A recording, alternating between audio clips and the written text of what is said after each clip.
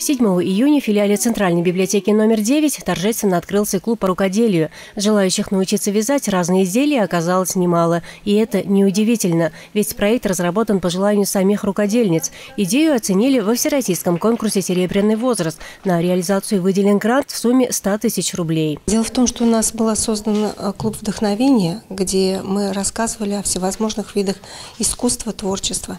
И э, по аналитически, когда мы стали разговаривать с посетителями этого клуба, с членами клуба, они изъявили желание именно заняться каким-либо видом ручного творчества. То есть это не просто так, а по изучению именно спроса наших читателей. Ручное вязание – старинное народное ремесло, которое сегодня вновь на пике популярности. Все желающие бесплатно смогут научиться вязать спицами и крючком, разбираться в схемах. На курсы в основном пришли люди пенсионного возраста. И, конечно, многие начальными навыками владеют, но хотели бы научиться чему-то новому, говорят мастерицы. Ну, наверное, как любая женщина моего возраста, хоть какие-то навыки рукоделия мы имеем, потому что наши мамы всегда их, нас обучали этому, мы это помним.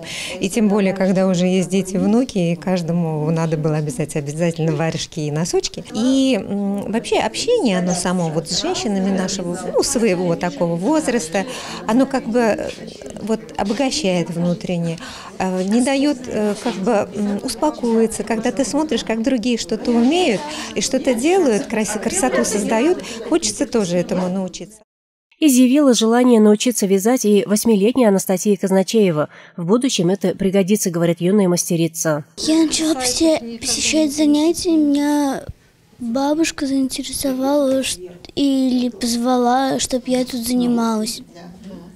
А у самой желание есть научиться вязать? Да. А что бы ты хотела научиться связать? свитер. Научившись, можно связать нужную, красивую и единственную в своем роде вещь. Изделия ручной работы в мире моды никогда не теряют своей актуальности. Тем более это полезное времяпровождение, считают участники проекта. Правда, интернет тоже помогает в поиске новых идей. Я сижу, смотрю в каких-то сайты, я смотрю именно, что, что почерпнуть, чему научиться, какие-то идеи, какие-то мотивацию какую-то найти для дальнейшего творчества. И вот я хочу просто принести это людям всем. Чем больше, я думаю, людей этим заинтересуется, увлечется, ну, прекраснее жизнь наша будет.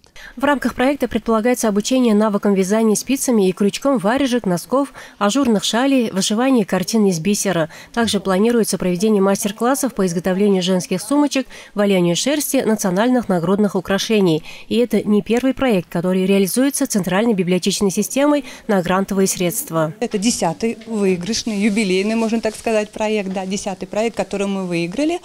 Э, у нас различная тематика, и поэтому мы уверены, что он будет востребован, что он также, вот, как его оценили, когда ему дали э, грантовую поддержку, также он и себя зарекомендует во время реализации.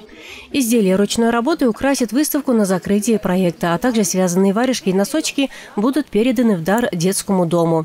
Айгуль Мухаммедшина, Владимир Кузьмин, телекомпания «Арис».